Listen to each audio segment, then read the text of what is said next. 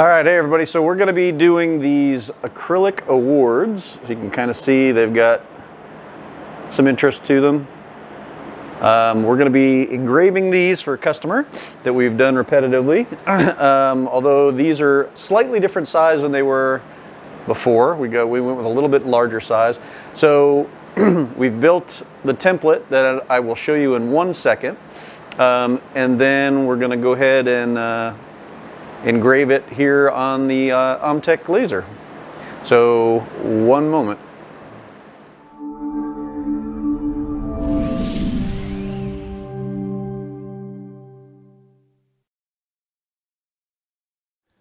All right, so these are the acrylic awards. Um, you can kind of see a little example here, but I'll show you show you another image in a moment. Um, I've already built a template to fit the spacing and that's what these are. I've already laid these art, laid the art out, um, made the background a different color so that we can separate that in Lightburn. And you'll see what I'll do is when we export these, I'll just pull that inside spacing piece away and we'll export this and that'll give us our references for proper placement. All right, so um, when you're doing repetitive awards, especially something that's a custom shape like these, um, and you want a good reference for placement uh, on the laser bed before you do your engraving, here's a tip and what I will walk through on this process. I'm going to basically just use a little bit of uh, apply.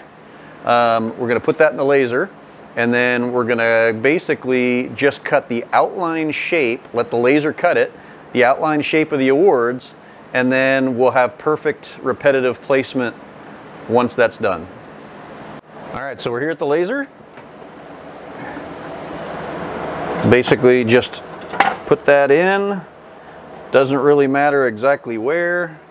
I'm gonna use our magnet hold downs that we've built just to kind of keep a good pressure and uh, keep a consistent placement. And then we will get that job uh, going. All right, so here we are in Lightburn. We'll go ahead and import the first plaque job.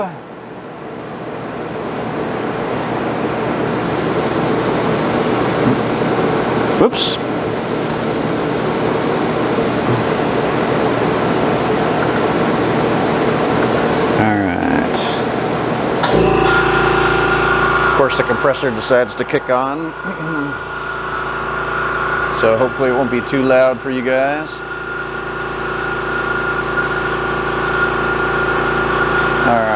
So zoom out a little bit here. Drag that down into the workspace. Alright, so what I'm going to do is I'm going to change that outline color to a red and then the inside will be our burn but for right now since all we want to do is cut this template I'm going to turn off the output on the middle engraving and we're going to do just this outline. And we're going to set that. Double check my settings on this particular wood. So we run this at whoop just lost it. Gotta love it. Okay. We run this at 525 so I've currently got it at 625 that should be fine but let's go ahead and drop it just to be safe right. So that will give us our cut. And then once we've got that cut, we'll be able to use that as our placement template. We'll do another frame out. All right, we're looking good. So we will go ahead and have it run that cut.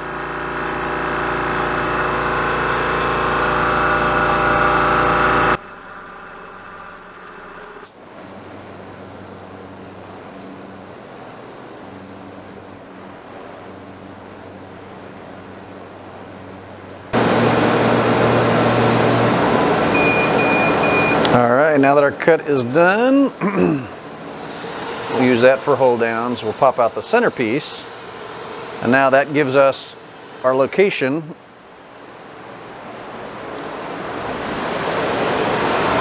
for the award. You can check your alignment when you're doing your placement. And then that gives us our reference. And you can actually even slide the magnets to give it a better hold location. Now, sometimes I'll do another one down here.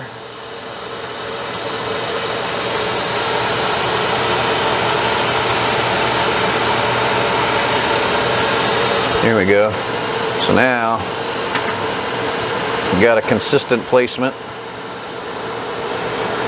and you can go to town with your engraving.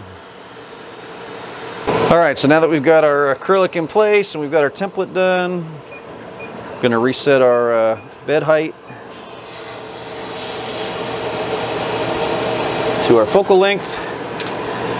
And then since we set an origin, all we have to do is click go to origin and it'll go right back to the home position that we set when we originally did that cut. So we know that our placement is accurate. Um, I've got the outside line now turned off, the inside fill set. Let's give her a run.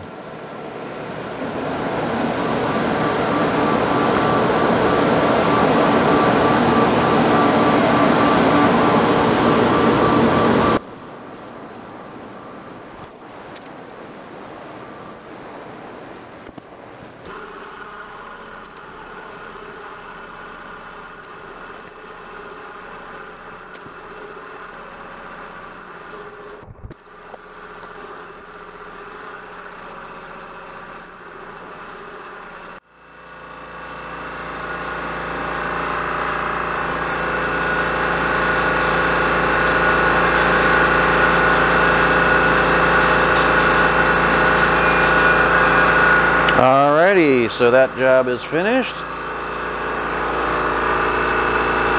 There you go. Of course, we haven't wiped it down yet, but you get the general idea. Sorry, out of view, out of view. And then you'll see the next one is a quick load because we've got our template in place, our magnet set. Our home position is super easy to find, and we're ready for the next job. So here you go. Here's an example after a wipe down of what they look like. Now we'll continue on with the uh, rest of them.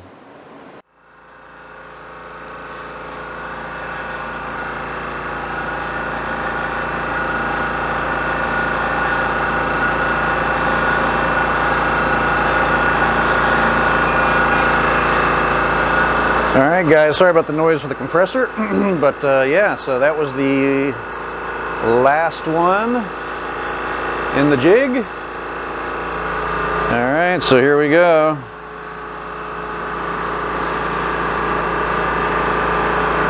That is all of them with consistent placement and good results. Probably a little fuzzy, but that's the camera. so yeah, I hope you guys enjoyed and I hope that uh, is helpful. Um, please hit that like and subscribe and check out some of our other videos. And I appreciate you stopping in and I hope that you have a great one. Take care.